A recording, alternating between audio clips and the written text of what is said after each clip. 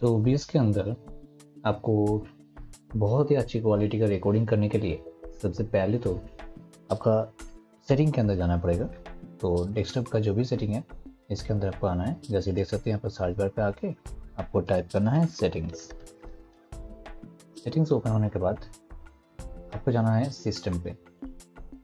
System पे जाने के बाद यहाँ पर डिस्प्ले रेजोल्यूशन के अंदर जो हाईएस्ट रेजोल्यूशन आपको मिल रहा है उसी कप को चूज़ करना है। यहाँ पर देख सकते हो, मेरे लिए यहाँ पर two five six zero into one four four zero fourteen forty P पे रिकॉर्डिंग होगा मेरा। ठीक है? जबकि मेरा जो रिकमेंडेड सेटिंग है, वो है thirteen sixty six into seven sixty eight मतलब एच डी क्वालिटी का रिकॉर्डिंग तो मैं किस तरीके से इसमें फोर्टीन फोर्टी पी का रिकॉर्डिंग यूज़ कर सकता हूँ एच डी पैनल को यूज़ करके? आज के इस वीडियो के अंदर इसी के बारे में डिस्कस करेंगे। तो वीडियो को पूरा अंतर देखिएगा। तो सबसे पहले जैसे कि बताया आपको डिस सेटिंग पे आके डिस्प्ले सेटिंग पे जाके आपको रेजोल्यूशन को हाईएस्ट पे सेट करना है। जो भी आपको मिलेगा, उसको चूज़ करना है। उसके बाद आपको इस विंडो को क्लोज करना है। अब आते हैं OBS के अंदर। जो मेन जो फंडा है, यहाँ पर जाना है। OBS को ओपन करेंगे। जैसे देख सकते हो, मैं यहाँ पर रिकॉर्डिंग कर रहा हूँ। इसलिए OBS को यहाँ पर एक वार्निंग दे रहा है। तो मैं यहाँ पर कैंसिल करता हूँ। और इधर से मैं OBS को ओपन करता हूँ। ठीक है? देख सकते हो रिकॉर्डिंग चल रहा है यहाँ पर। देख सकते हो, यहाँ पर रिकॉर्डिंग चल रहा है। सबसे पहले जाना है आपको सेटिंग के अंदर ओबीएस का सेटिंग के अंदर। सेटिंग ओपन हो जाएगा। ओपन होने के बाद मोस्ट इंपॉर्टेंट जो सबसे पहला है, वो है आपका वीडियो सेक्शन इस वीडियो सेक्शन पर आके आपको यहाँ से जो बेस कैनवस रेजोल्यूशन है, इसको आपको जो हाइस्ट रेजोल्यूशन मिलता है, आपके डिस्प्ले सेटिंग के अंदर जो आप आपने सेट किया था, वही रेजोल्यूशन को यहाँ पर सेट करना है। यहाँ पर देख सकते हो, मेरे लिए one two five six zero into one four four zero और आउटपुट रेजोल्यूशन भी सेम रखना है, जो यहाँ पर है बेस कैनवस और आउटपुट दोनों सेम रखना है, ठीक है? डाउन स्क्रीन को कुछ नहीं चेंजेस करना है, कुछ भी चेंजेस नहीं होने वाला है यहाँ पर। सेम रखेंगे resolution match no down screen required इसी को चूज़ करना है। और एफ़ के अंदर आपको कॉमन एफ़ पी चूज़ करना है, और यहाँ पर मैंने 60 पे रिकॉर्ड कर रहा हूँ 60 एफ़ पे, लेकिन आप चाहे तो यहाँ पर 30 पे भी रिकॉर्ड कर सकते हो। ठीक है? उसके बाद आपको क्या करना है? अप्लाई पे क्लिक करना है। ये जो अप्लाई है, इसके अंदर क्लिक करना है। ओके नहीं करना है, आप अप्लाई कीजिएगा, क्योंकि बहुत सारा सेटिंग्स और भी चेंजेस करना है। उसके बाद हम लोग आएँगे आउटपुट सेटिंग पे।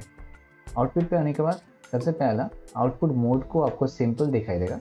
इसके अंदर क्लिक करके आपको एडवांस चूज़ करना है। मेरे लिए यहाँ पर ऑलरेडी एडवांस्ड है, देख सकते हो। और मैं चेंज नहीं कर सकता क्योंकि मैं रिकॉर्डिंग कर रहा हूँ यहाँ पर। तो एडवांस चूज़ करना है। उसके बाद आपको चारों टैब्स दिखाई देंगे स्ट्रीमिंग रिकॉर्डिंग ऑडियो और रिप्ले वाफर तो रिप्ले वाफर को हम लोग यहाँ पर छोड़ देंगे। हम लोग जाएँगे रिकॉर्डिंग के अंदर, क्योंकि हम लोग इस पर रिकॉर्डिंग के बारे में बात करेंगे। और जिन लोग स्ट्रीमिंग करते हो, वो भी इस सेम टेक्निक को यूज़ कर सकते हो। सेम टू सेम काम करेगा, ठीक है? रिकॉर्डिंग के अंदर आके आपको टाइप को करना है स्टैंडर्ड रिकॉर्डिंग पाथ जहाँ पर आपका वीडियो सेव होगा, वो आप अपने हिसाब से चूज़ कर लेना। मैं यहाँ पर डिफ़ॉल्ट छोड़ रहा हूँ। रिकॉर्डिंग फॉर्मेट को आपको एम रखना है, क्योंकि आप रिकॉर्डिंग कर रहे हो तो एम फॉर्मेट भी रिकॉर्डिंग कर सकते हो, क्योंकि एम ही बहुत जगह पे सपोर्ट करता है। बहुत सारा वीडियो एडिटिंग सॉफ्टवेयर पे सपोर्ट करता है एम उसके बाद जो मोस्ट इंपॉर्टेंट चीज़ है, वो है इनकोड यहाँ पर अगर आपके पास इंटेल का प्रोसेसर है, और उसमें इनबिल्ड ग्राफिक्स आते हैं, जो इंटीग्रेटेड जो ग्राफिक्स को कहते हैं हम लोग इंटेल इंटीग्रेटेड ग्राफिक्स तो उसके अंदर क्विक सिंक करके एक ग्राफिक्स कर जाते हैं। तो यहाँ पर मेरा जो प्रोसेसर है, वो है आई थ्री सेवन जनरेशन का processor seven one zero zero तो उसके अंदर मेरा जो प्रोसेसर जो ग्राफिक्स है, वो है H D six three zero ठीक है? तो यहाँ पर मैं इसको इंटेल का जो भी ग्राफिक्स है, उसी को यूज़ कर रहा हूँ। मेरा C P L C P का अंदर जो इनबिल्ट आते हैं, उसी को यूज़ कर रहा हूँ। अगर आपके पास एक्सटर्नल कोई भी इन एन का हो सकता है या फिर एम का AMD का कोई भी ग्राफिक्स है तो उसको भी आप यूज़ कर सकते हो। यहाँ से आपका इनकोडर को आपको चूज़ करना है और अपने हिसाब से एक एक करके चूज़ करके देखना है। अगर इन क्रैश कर रहा है तो आपको आ, जो कि इंटेल का प्रोसेसर है उसके अंदर क्विक सिंक अगर रहता है तो क्विक सिंक को ट्राई करना है। ठीक है अगर नहीं रहता है तो सिंपली आप सी को यूज़ कर लीजिएगा। कोई दिक्कत नहीं है। उसके बाद रीस्केल आउटपुट को नॉर्मल रखना है, इसमें अनचेक करना है, इसको चेक नहीं करना है, ठीक है? चेक करेंगे तो क्या होगा कि आपका जो भी डिफ़ॉल्ट जो रेजोल्यूशन मैंने हम लोगों ने इसमें सेट किया था वीडियो सेक्शन पे तो वो डाउनग्रेड होकर यहाँ पर आ जाएगा। तो हम लोग ये नहीं चाहते हैं तो इसको हम लोग अनचेक करेंगे। अनचेक है ऑलरेडी देख सकते हो। और कुछ नहीं, आप सेटिंग को देख सकते हो सेम सेम सेटिंग आपको रखना है। और यहाँ पर चले आते हैं इनकोडर सेटिंग के अंदर। ये भी एक बहुत ही इंपॉर्टेंट सा स्टेप है। तो सबसे पहले तो रेट कंट्रोल को, आपको सीवियर करना है कॉन्स्टेंट बीट रेट ठीक है? वी नहीं करना है और कुछ नहीं करना, आपको करना है सिंपली सीवियर ठीक है? और बीट रेट आप सेम रखिएगा, इसमें कोई चेंजेस नहीं करना है, ठीक है? और यहाँ पर टारगेट जो है टारगेट यूसेज का आप बैलेंस रख सकते हो या फिर क्वालिटी रख सकते हो। तो मैं अगर इस पर क्वालिटी पे शिफ्ट करता हूँ तो भी हो जाएगा, कोई दिक्कत नहीं है क्वालिटी को सेट करते हैं, ठीक है? उसके बाद हाई प्रोफ़ाइल को हाई रखेंगे और यहाँ पर कुछ नहीं करना है। लेटेंसी को हम लोग नॉर्मली छोड़ देंगे और यहाँ पर क्या करेंगे? अप्लाई पे क्लिक कर देंगे, ठीक है? अप्लाई क्लिक कर दिया मैंने।